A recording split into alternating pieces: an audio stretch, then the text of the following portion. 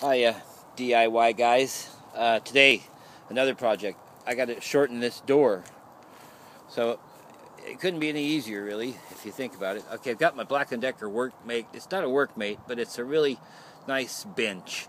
Adjustable, comes with its own clamp. So I've clamped the, the table down, the, not the table, the door.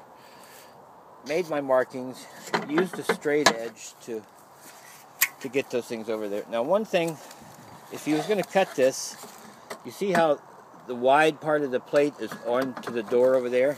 If I cut it from this side, you see how you see how you got nothing nothing on there?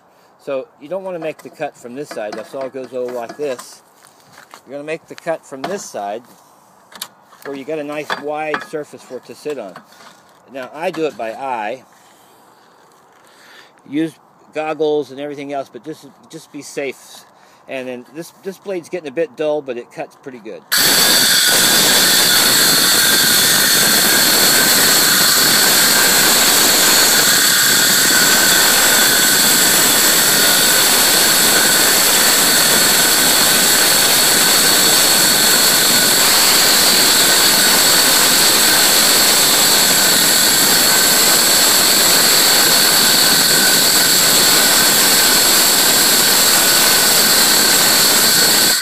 Now, when your battery's getting weak, you got to let the saw do the work. Just let be just easy, push on it, push on it real easy, let the saw do the cutting.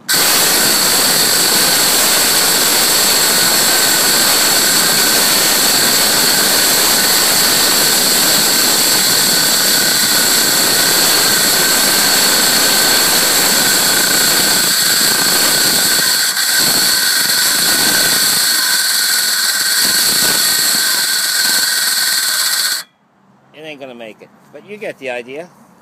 Anyway, stay safe out there, fans. Come back and see us sometime.